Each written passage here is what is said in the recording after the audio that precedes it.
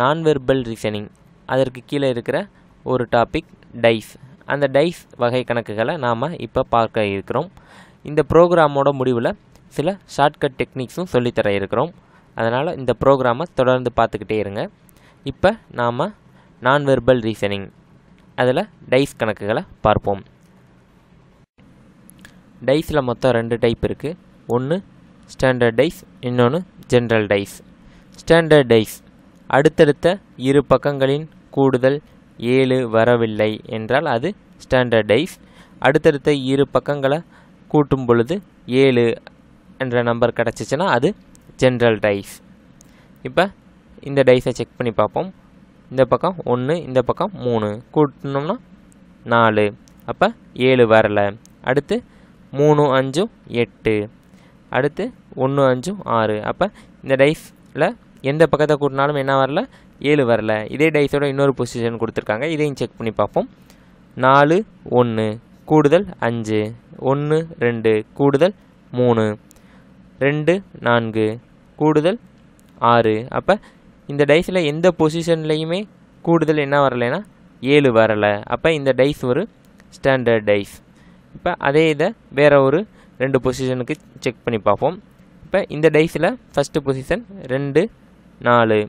கூடுதல் ஆறு. நான்கு மூன்று. கூடுதல் ஏழு. அப்போ கூடுதல் ஏழு வந்துருச்சு. அப்போ இது ஒரு ஜென்ரல் டைஸ் அப்போ இந்த ஜென்ரல் டைஸ் அப்படின்றத எதை வச்சு சொல்லலாம்? ஏதாவது ஒரு ரெண்டு பக்கங்களை கூட்டும் போது ஏழு வந்தால் கூட அது என்னதுதானா? ஜென்ரல் டைஸ் தான். டைஸ் கணக்குகளை பொறுத்த வரைக்கும் ஏதாவது ஒரு குறிப்பிட்ட பக்கத்தை கொடுத்துட்டு அந்த குறிப்பிட்ட பக்கத்திற்கு எதிர்பக்கத்தில் எந்த நம்பர் வரும் இல்லைன்னா எத்தனை புள்ளிகள் வரும் அந்த மாதிரி தான் கேட்பாங்க. அப்படி கேட்கல நாம் ஃபஸ்ட்டு என்ன பண்ணணும்னா அந்த கொடுக்கப்பட்ட பொசிஷனை வச்சு அந்த டைஸ் ஒரு ஸ்டாண்டர்ட் டைஸா இல்லை ஜென்ரல் டைஸா அப்படின்றத ஃபஸ்ட்டு முடிவு பண்ணிக்கணும். இப்போ ஸ்டாண்டர்ட் டைஸாக இருந்துச்சுன்னா என்ன பண்ணலாம் அப்படின்னா இப்போ ஸ்டாண்டர்ட் டைஸில் கூடுதல் என்ன வராதுன்னா ஏழு வராது. ஆனால் ஒரு குறிப்பிட்ட பக்கம் கொடுக்குறாங்க. இப்போ ரெண்டு அப்படின்ற ஒரு குறிப்பிட்ட பக்கம் கொடுக்குறாங்க அப்படின்னா அந்த பக்கத்தின் எதிர்பக்கத்தில் எந்த நம்பர் வரும் அப்படின்னு கேள்வி இருக்குது அப்படின்னா இந்த இரண்டுக்கு எதிர்பக்கத்தில் என்ன நம்பர் வரும்னா இந்த இரண்டோட எதை கூட்டினால் ஏழு வரும்? ஐந்து. அப்போ அந்த இரண்டுக்கு எதிர்பக்கம் என்னதுன்னா ஐந்து. இப்போ இந்த ஸ்டாண்டர்ட் டைஸ் அப்படின்னா இதில் அடுத்தடுத்த பக்கங்களின் கூடுதல் ஏழு வராது. எதிர் எதிர் பக்கங்களின் கூடுதல் என்னவாக இருக்கும்? ஏழாக இருக்கும். அதுதான் ஸ்டாண்டர்ட் டைஸ் இப்போ ஒன்றுக்கு ஆப்போசிட்டில் என்ன நம்பர் இருக்கும் அப்படின்னு கேட்டிருக்காங்க அப்படின்னா ஒன்றுக்கு ஆப்போசிட்டில் என்ன நம்பர் இருக்கும்? ஒன்றையோட எதை கூட்டினோம்னா ஏழு வரும். ஒன்றோட ஆறை கூட்டினோம்னா ஏழு வரும். அப்போ ஒன்றுக்கு ஆப்போசிட்டில் ஆறு. அடுத்து மூணு. மூணுக்கு ஆப்போசிட்டில் என்ன ஃபேஸ் இருக்கும்? அப்போ மூணுக்கு ஆப்போசிட்டில் நாலு. ஏன்னா மூணையும் நாளையும் கூட்டினோம்னா என்னது? ஏழு. அப்போ மூணோட எதை கூட்டினா? ஏ ஏழு வரும். மூணோட நாளை கூட்டினோம்னா ஏழு வரும். அப்போ இந்த மாதிரி ஸ்டாண்டர்ட் டைஸ் கணக்குகள் கொடுத்தா ரொம்ப சுலபமாக நாம் செஞ்சிடலாம். இந்த ஸ்டாண்டர்ட் டைஸை பொறுத்த வரைக்கும் நாம் கணக்கை பார்க்கணுன்ற அவசியமே கிடையாது. ஏன்னா நம்ம டைரெக்டாக ஆன்சர் சொல்லிடலாம். அப்போ இந்த டைரெக்டாக ஆன்சர் சொல்கிறோம் அப்படின்றதுனால இந்த கணக்குகள் ரொம்ப ஈஸியான கணக்குகள். இது கேட்பதற்கான வாய்ப்புகள் ரொம்ப குறைவாக தான் இருக்குது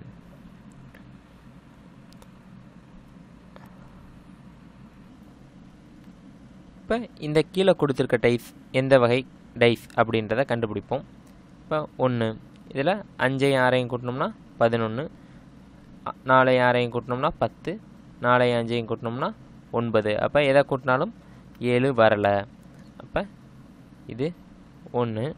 அடுத்து ரெண்டாவது பொசிஷனில் நாலையும் அஞ்சையும் கூட்டினோம்னா ஒன்பது அஞ்சையும் ஒன்றையும் கூட்டினா ஆறு நாளையும் ஒன்றையும் கூட்டினா அஞ்சு. அப்போ இதுலேயும் என்ன வரல?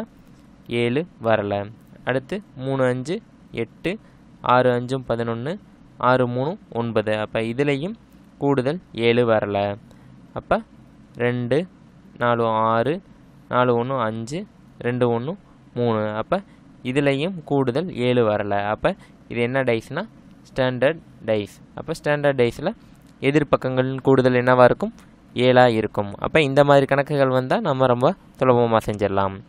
அடுத்து ஜென்ரல் டைஸ் இந்த ஜென்ரல் டைஸில் எதிர்ப்பக்கங்கள் கேட்டால் எப்படி கண்டுபிடிக்கிறது அப்படின்றத முதல்ல பார்ப்போம்.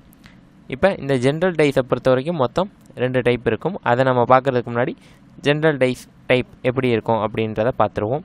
இப்போ இந்த ஃபஸ்ட்டு ஆறு நாளும் பத்து நாலு ரெண்டும் ஆறு ஆறு ரெண்டும் எட்டு. அப்போ இதில் அடுத்த பக்கங்களின் கூடுதல் ஏழு வரலை. அடுத்து ரெண்டாவது பொசிஷன் பார்ப்போம்.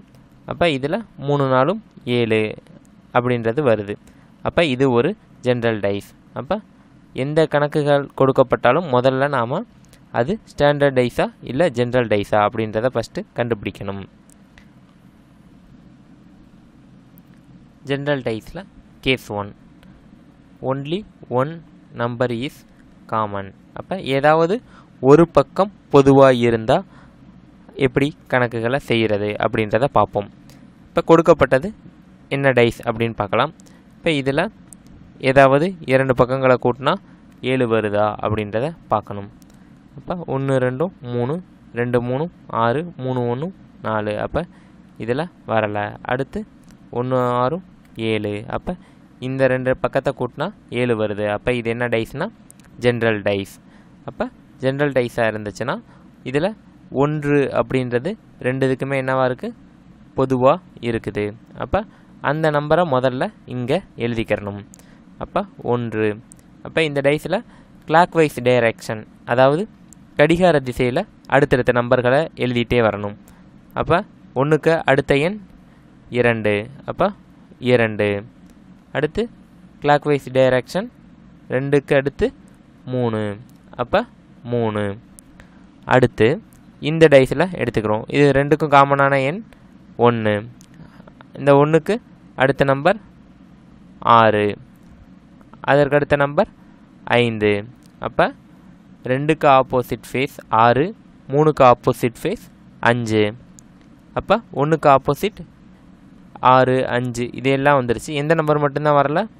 நாலு மட்டும்தான் வரல. அப்போ ஒன்றுக்கு ஆப்போசிட் நாலு. அப்போ ஒரே ஒரு பக்கம் பொதுவாக இருந்தது அப்படின்னா இந்த மெத்தடை பயன்படுத்தி நாம் செஞ்சிடலாம்.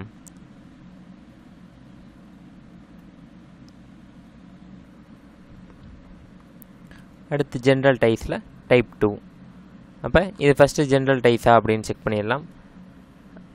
அடுத்தடுத்த பக்கம் கூடுதல் ரெண்டு ப்ளஸ் அஞ்சு ஏழு. அப்போ கூடுதல் ஏழு வருது. அப்போ இது ஒரு ஜென்ரல் டைஸ் அப்புறம் இதில் இரண்டு பக்கங்கள் பொதுவாக இருக்குது அதாவது ஒன்று மற்றும் ஐந்து. இந்த இரண்டு பக்கங்களும் என்னவாக இருக்குன்னா பொதுவாக இருக்குது அப்போ இந்த மாதிரி கணக்குகள் கொடுத்தா இந்த பொதுவாக இருக்கிற பக்கங்கள் போக இதில் மீதி இருக்கிற பக்கம் ரெண்டு இதில் மீதி இருக்கிற பக்கம் நாலு. அப்போ இது ரெண்டும் ஆப்போசிட் ஃபேஸாக இருக்கும்.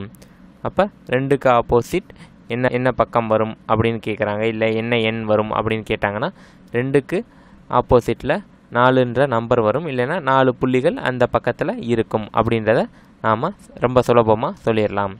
அப்போ ஜென்ரல் டைஸில் மொத்தமே ரெண்டு டைப் தான். ஒரு டைப்பில் ஒரே ஒரு பக்கம் பொதுவாக இருக்கும்.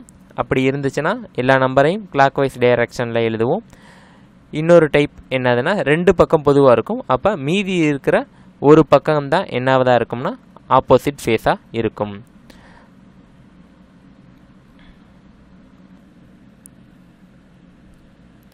இப்போ டைஸில் சில கணக்குகள் பார்த்துருவோம். Find the number opposite to four அப்போ முதல்ல கொடுத்துருக்க டைஸ் ஸ்டாண்டர்ட் டைஸா இல்லை ஜென்ரல் டைஸா அப்படின்றத நாம் முதல்ல முடிவு பண்ணணும். அப்போ ரெண்டு ப்ளஸ் அஞ்சு ஏழு. அப்போ இது ஒரு ஜென்ரல் டைஸ் அப்போ ஜென்ரல் டைஸ்னு முடிவு பண்ணிட்டோம். என்ன கேட்டிருக்காங்கன்னா நாலுக்கு ஆப்போசிட் நாலுக்கு எதிர்ப்புறம் என்ன எண் இருக்கும் அப்படின்றதான் கேள்வி. அப்போ ஜென்ரல் டைஸ் அப்படின்னு முடிவு பண்ணிட்டோம்னா அது எந்த கேஸில் வருது அப்படின்றத ஃபஸ்ட்டு முடிவு பண்ணணும். அப்போ இதில் பொதுவான பக்கங்கள் எத்தனை இருக்குன்னா ஒன்றே ஒன்று தான் இருக்குது அஞ்சு அஞ்சு. அப்போ பொதுவான பக்கம் அஞ்சு. அப்போ இதிலேருந்து கிளாக் வைஸ் டைரக்ஷனில் நம்பரை எழுதிக்கிட்டே போகணும். அப்போ அஞ்சுக்கு அடுத்து கிளாக் வைஸில் ஆறு. அப்போ அஞ்சுக்கு அடுத்து ஆறு. அடுத்து ஆறுக்கு அடுத்து ரெண்டு. அப்போ ஆறுக்கு அடுத்து ரெண்டு. அப்போ இதே மாதிரி இங்கே அஞ்சு. அஞ்சுக்கு அடுத்து ஒன்று அப்போ அஞ்சு அஞ்சுக்கு அடுத்து ஒன்று. ஒன்றுக்கு அடுத்து நாலு. அப்போ ஒன்றுக்கு அடுத்து நாலு. அப்போ நாலுக்கு ஆப்போசிட்டில் என்ன ஃபேஸ் இருக்குன்னா ரெண்டு. அப்போ நாலுக்கு ஆப்போசிட்டில் என்ன ஃபேஸ் இருக்குது ரெண்டு. அப்போ ஆன்சர் ரெண்டு. அப்போ the number opposite to four அதாவது நாலுக்கு எதிர்ப்புறம் உள்ள எண் என்னதுன்னா இரண்டு.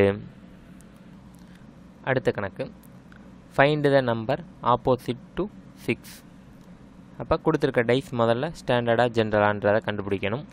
அப்போ ஃபஸ்ட் இதில் எந்த பக்கத்தை கூட்டினாலும் ஏழு வரல. அடுத்து இந்த இதுலேயுமே எந்த பக்கத்தை கூட்டினாலும் ஏழு வரல. அடுத்து இந்த பொசிஷன்லேயும் எந்த பக்கத்தை கூட்டினாலும் ஏழு வரல. இந்த பொசிஷன்லேயும் எந்த பக்கத்தையும் கூட்டினா ஏழு வரல. அப்போ இது ஒரு ஸ்டாண்டர்ட் டைஸ் ஸ்டாண்டர்ட் டைஸில் எதிர்பக்கங்களின் கூடுதல் என்னவாக இருக்கணும்? ஏழாக இருக்கணும். அப்போ ஆறோட எதை கூட்டினா ஏழு வரும்? ஒன்றை கூட்டினா ஏழு வரும். அப்போ ஆறுக்கு எதிர்பக்கம் ஒன்று. அப்போ ஒன்று தான் answer next sum find the number opposite to two இப்போ ஃபஸ்ட்டு கொடுத்துருக்க டைஸ் ஜென்ரலாக ஸ்டாண்டர்டா அப்படின்றத கண்டுபிடிக்கணும். இப்போ முதல் இதில் ரெண்டு ஆறு எட்டு ஆறு மூணு ஒன்பது மூன்று ரெண்டும் ஐந்து. அப்போ எந்த பக்கமும் ஏழு வரல. அடுத்து அஞ்சு நாளும் ஒன்பது நாலு ரெண்டும் ஆறு அஞ்சு ரெண்டும் ஏழு. அப்போ இந்த பக்கத்தில் ஏழு வருது. அப்போ இது ஒரு ஜென்ரல் டைஸ் இப்போ ஜென்ரல் டைஸ் ஜென்ரல் டைஸில் இப்போ இந்த கொடுத்துருக்கிறது நாலு பொசிஷன் கொடுத்துருக்காங்க. ஆனால் இந்த நாலு பொசிஷனும் நமக்கு தேவையில்லை. ஏதாவது இரண்டு பொசிஷன் எடுத்து நாம் செஞ்சிடலாம். இப்போ இந்த ஃபஸ்ட்டு ரெண்டு பொசிஷனே எடுத்து நாம் பார்க்கலாம். அப்போ இது ஜென்ரல் டைஸ் இது ஜென்ரல் டைஸில் கேஸ் ஒன்றா ரெண்டான்னு பார்க்கணும். அப்போ இதில் எத்தனை பக்கம் பொதுவாக இருக்குது அப்படின்னா ஒரே ஒரு பக்கம்தான் பொதுவாக இருக்குது ரெண்டு. அப்போ பொதுவாக இருக்கிற பக்கம் ரெண்டு. கிளாக் வைஸ் டைரக்ஷனில் அடுத்த நம்பர் ஆறு. அடுத்து அதற்கடுத்த நம்பர் மூன்று. இப்போ இந்த இதில் ரெண்டு ரெண்டுக்கு அடுத்த நம்பர் அஞ்சு. ரெண்டு அடுத்த நம்பர் அஞ்சு அதற்கு அடுத்த நம்பர் நான்கு. அப்போ மூணுக்கு ஆப்போசிட் ஃபேஸ் நாலு ஆறுக்கு ஆப்போசிட் அஞ்சு. நமக்கு என்ன கேட்டிருக்காங்கன்னா ரெண்டுக்கு ஆப்போசிட்டில் என்ன ஃபேஸ் வரும்? இப்போ எந்தெந்த நம்பர்லாம் வந்துருச்சுன்னா ரெண்டு மூணு நாலு அஞ்சு ஆறு வந்துருச்சு. அப்போ ரெண்டுக்கு ஆப்போசிட்டில் என்ன ஃபேஸாக இருக்கும்? ஒன்று. ஏன்னா அந்த நம்பர் மட்டும்தான் வரலை. அப்போ ரெண்டுக்கு ஆப்போசிட் ஒன்று. அப்போ ஆன்சர் ஒன்று.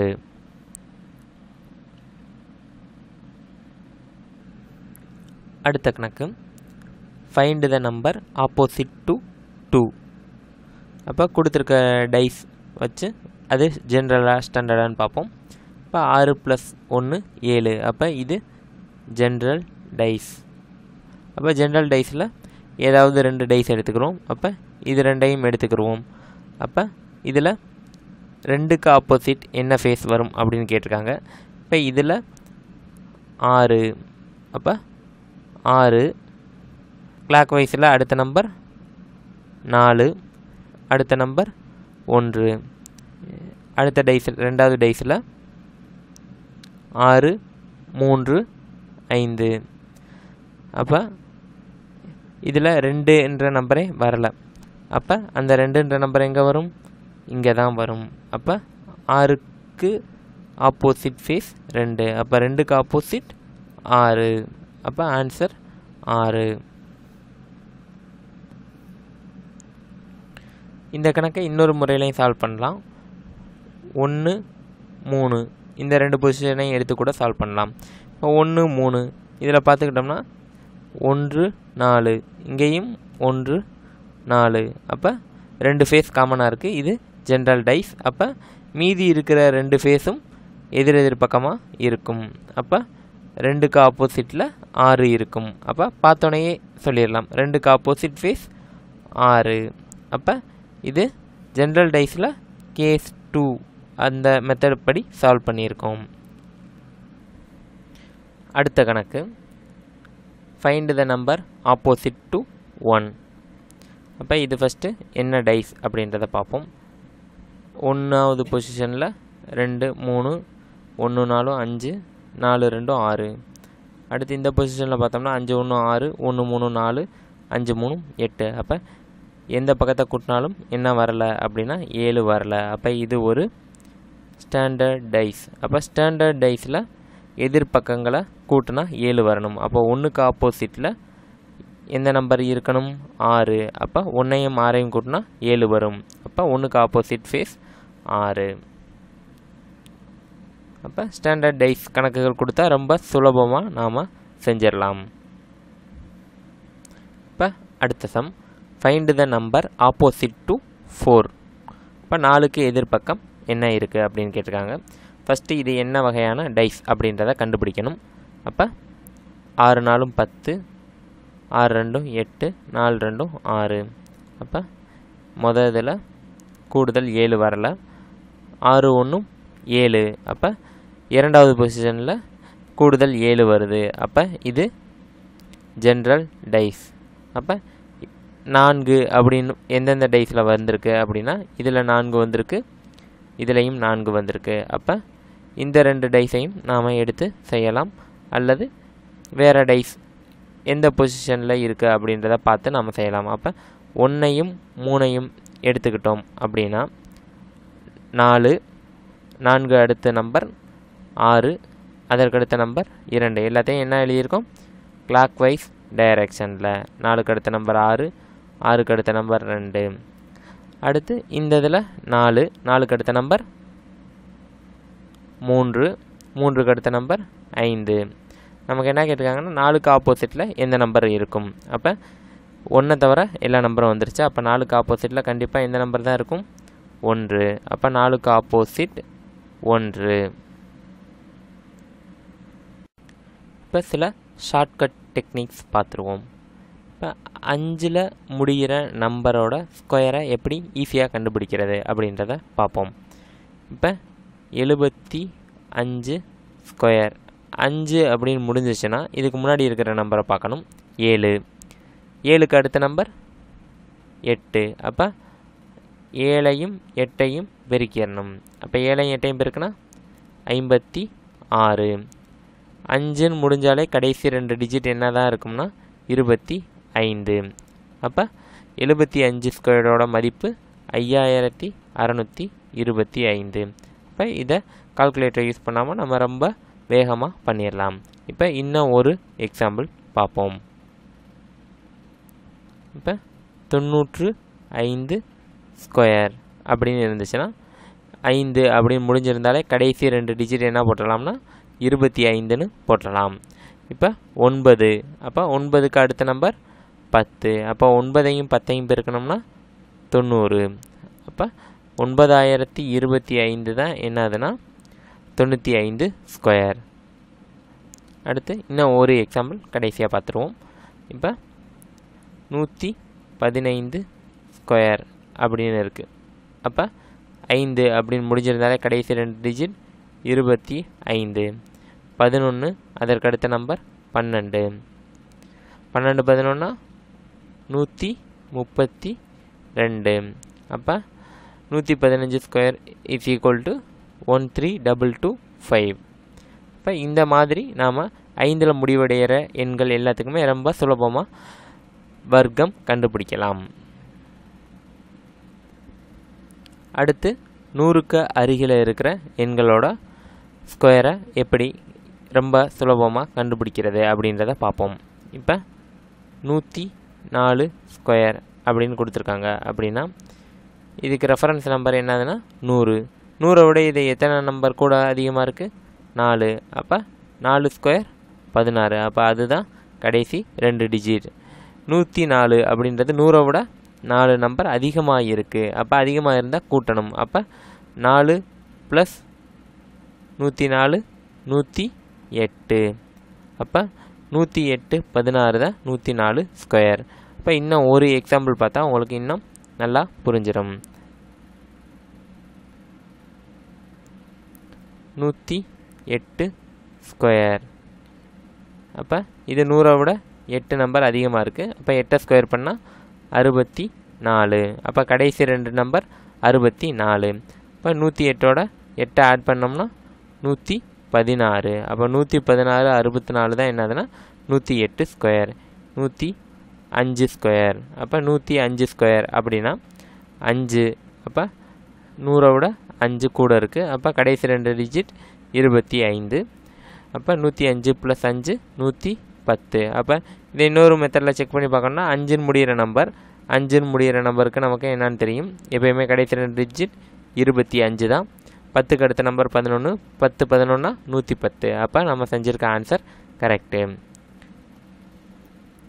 அடுத்து தொண்ணூற்றி ஆறு ஸ்கொயர் அப்போ இது நூறை விட கம்மியாக இருக்குது எவ்வளோ கம்மியாக இருக்குன்னா மைனஸ் நாலு. அப்போ மைனஸ் நாலு ஸ்கொயர் நாலு ஸ்கொயர் பண்ணோம்னா பதினாறு. அப்போ கடைசி ரெண்டு டிஜிட் பதினாறு. தொண்ணூற்றி ஆறு மைனஸ் நாலு. அப்போ தொண்ணூற்றி ஆறு மைனஸ் நாலு தொண்ணூற்றி இரண்டு. அப்போ தொண்ணூற்றி இரண்டு பதினாறு. இதுதான் தொண்ணூற்றி ஆறு ஸ்கொயர் அப்போ இன்னும் ஒரு எக்ஸாம்பிள் பார்த்தோம்னா தொண்ணூற்றி ஒன்பது ஸ்கொயர் அப்போ தொண்ணூற்றி ஒம்போதுன்றது நூறை விட ஒன்று கம்மியாக இருக்குது அப்போ ஒன்றை ஸ்கொயர் பண்ணோம்னா ஜீரோ ஒன்று அப்போ தொண்ணூற்றி ஒன்பது மைனஸ் ஒன்று தொண்ணூற்றி எட்டு. அப்போ தொண்ணூற்றி எட்டு ஜீரோ ஒன்று தான் தொண்ணூற்றி ஒன்பது ஸ்கொயர் அப்போ இந்த டெக்னிக்கை பயன்படுத்தி நூறுக்கு அருகில் இருக்கிற நம்பரோட ஸ்கொயரை நாம் ரொம்ப சுலபமாக கண்டுபிடிச்சிடலாம். அடுத்து எந்த ஒரு நம்பரையும் பதினொன்றால் எப்படி ரொம்ப சுலபமாக பெருக்கிறது அப்படின்றத பார்க்க இருக்கிறோம்.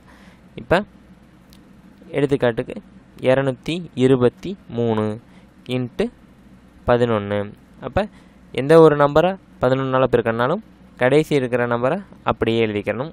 மூணு. அடுத்து மூணு ப்ளஸ் ரெண்டு. அஞ்சு. ரெண்டு ப்ளஸ் ரெண்டு. நாலு. அடுத்து கடைசி டிஜிட்டை அப்படியே எழுதிக்கிறோம் அப்போ ரெண்டு நாலு அஞ்சு மூணு. அப்போ இப்போ கால்குலேட்டரை யூஸ் பண்ணாமல் நம்மளால் ரொம்ப சுலபமாக பதினொன்றால் எந்த ஒரு நம்பரையும் பெருக்கி சொல்ல முடியும். அப்போ அடுத்தடுத்த ஒரு ரெண்டு எடுத்துக்காட்டு பார்த்தோம்னா உங்களுக்கு இன்னும் ரொம்ப சுலபமாக புரிஞ்சிடும் ரெண்டாயிரத்தி எழுபத்தி ஒன்பது இன்ட்டு பதினொன்று. இப்போ கடைசி டிஜிட்டை அப்படியே எழுதிடலாம். ஒன்பது ஒன்பது ஏழும் பதினாறு ஆறு மீதி ஒன்று ஜீரோ ப்ளஸ் ஏழு ஏழு. ஏற்கனவே மீதி ஒன்று இருக்குது அப்போ எட்டு ஜீரோ ப்ளஸ் ரெண்டு ரெண்டு.